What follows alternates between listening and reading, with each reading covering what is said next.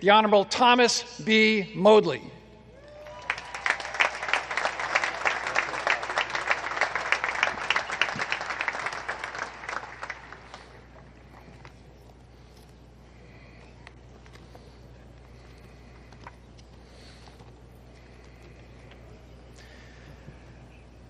Mr. President, members of Congress, Admiral Richardson, Vice Admiral Carter, distinguished guests, faculty, and staff of this national treasure of an institution, parents, families, and friends of the great class of 2018.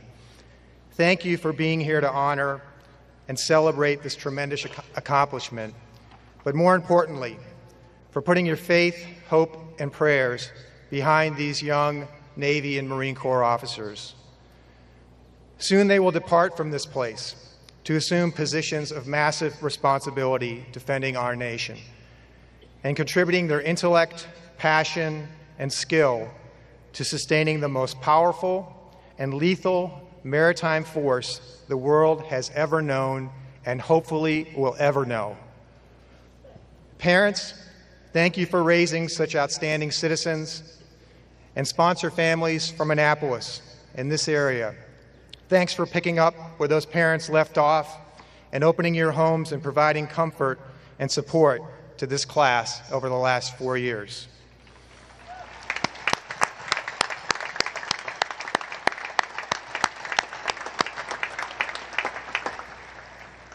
To the awesome class of 2018, congratulations and relax. The hard part's mostly over, for today anyway. No more panic attacks when you hear the 10 minute chow calls. No more worrying about the quality of your tuck at restriction musters.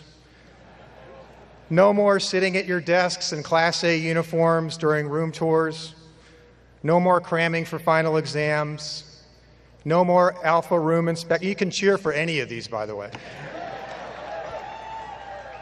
and at least for you, ensigns, no more parade practices, parades, or platoon drill. Now, I'm very sorry, Marines.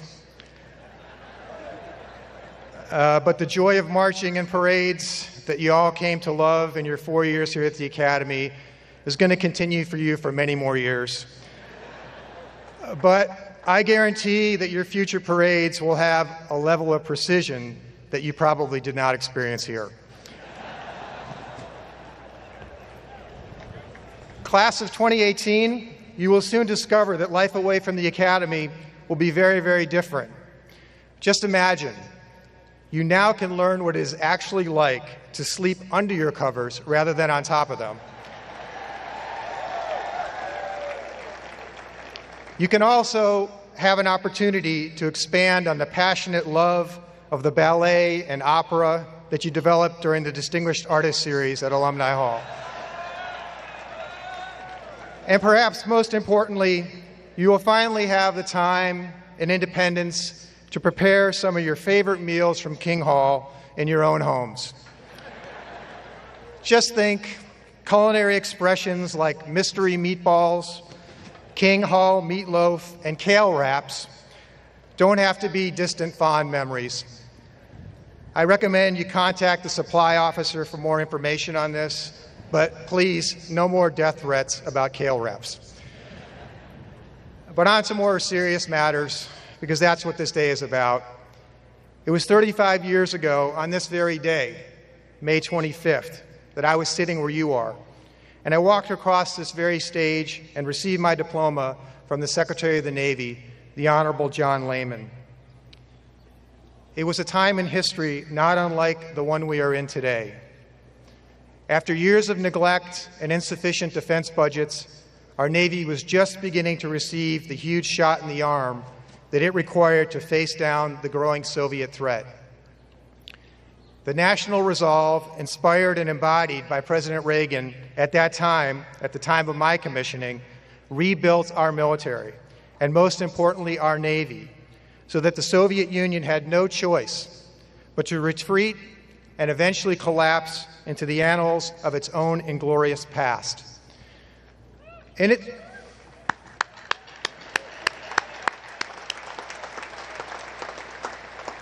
In its wake came the liberation of millions of people and nations who suffered under communist oppression behind the Iron Curtain. One of those nations was Hungary, a place where my own father escaped in the late 1940s to flee Soviet imposed tyranny. I recall this point in history to you today not because it's personal for me, but because of its relevance for you. Just as I was fortunate to serve under President Reagan, you should recognize how fortunate you are to be serving today under a commander in chief who believes what President Reagan believed that our national security.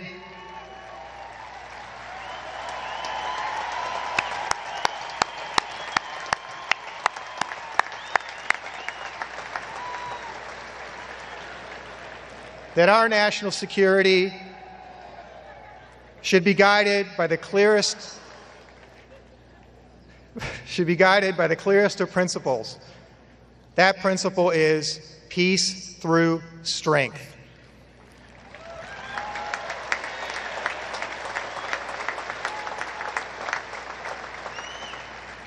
This is not a political tagline, it is a geopolitical truth. It is particularly true for a nation such as the United States with our broad global interests and important friendships all around the world, and our fundamental desire to see our people and the people of the world prosper under the guiding lights of individual liberty and human dignity. Weakness in pursuit of such lofty aspirations invites aggression, and it always will. As you are commissioned today, be grateful that the American people through their elected representatives in Washington, from the President to the Congress, recognize this fact and have committed the resources to give you what you need to deter our adversaries or to dominate and defeat them if necessary. I can assure you, not every nation in the world stands up for its principles in this way, nor do they invest the resources to make it so. Second, just as my classmates and I never saw the demise of the Soviet Union coming in 1983, you may also be surprised at the good that can come to the world through what you will be doing every single day as officers in the armed forces of the United States. You may not recognize this fully in the routine of your daily jobs, but as long as you lead and inspire a strong Navy and Marine Corps team, one that is prepared for any adversary I guarantee you that some significant and world altering good will come of it over time. In fact, I am certain that as you look back on your own careers, no matter what direction they take, 35 years from now, just as I am doing nostalgically today, you will find that some symbol of oppression, not unlike the now extinct Soviet Red Star, will have been relegated to the dustbin of history because of what you did to sustain the strength and the lethality, lethality of the United States Navy and Marine Corps. It will happen because, as we have learned through history, tyranny, tyranny and oppression cannot survive contact for long against a powerful military force, one that is anchored by a people and an officer corps of high moral, moral character. Officers who, in addition to their courage, also maintain a passion for peace and prosperity for all the citizens of the world. That is who you are. And the world you are entering today as officers in the United States military is going to be a much better place for it. In closing, let me say that although this is a truly great day in your lives, it is unlikely to be in the top 10 of your greatest days in uniform. Rather, you will find those greatest days in the moments when you see the people you have led, trained, educated, mentored, tutored, commanded, and yes, even reprimanded at times, perform well beyond your expectations. As officers in the United States military, you are given tremendous responsibility to respect and protect those placed under your command. The American people entrust you with their sons and daughters and they place their security and the security of our nation in your hands. Do not expect to be loved by everyone for this, even though it may happen on occasion. As Secretary Mattis is fond of saying to all of us who are now honored to be serving in the Pentagon, quote, your job is to protect the nation. So I commend to you this following piece of advice to make this important and what you will find an often difficult job far easier on yourselves. That advice is this don't ever worry about being loved for what you do. Rather, love the country you are asked to defend. Love the Constitution you are about to pledge your lives to protect and defend. And most importantly, love the people you have been privileged to lead. Make sure they eat before you do. Care about their families as much as you do your own. Be vested in their successes more than your own individual accomplishments. And nurture their careers more than you pursue your own advancement. Value their lives to the point that you will always consider their safety and security in every decision you make. And you will do this best by making sure they know how to fight and how to win.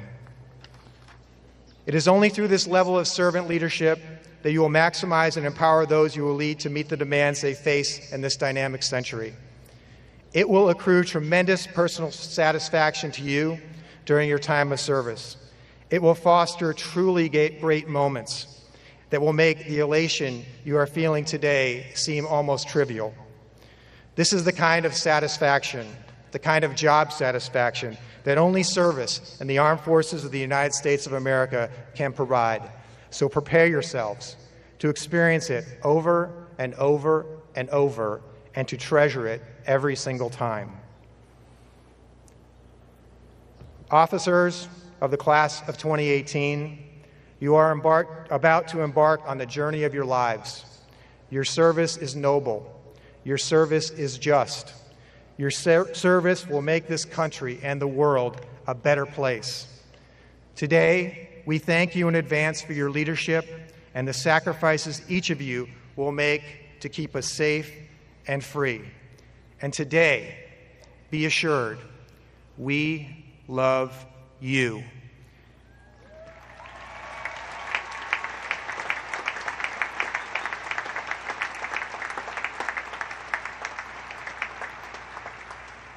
So I'm going to see if this works. Class of 2018, go Navy!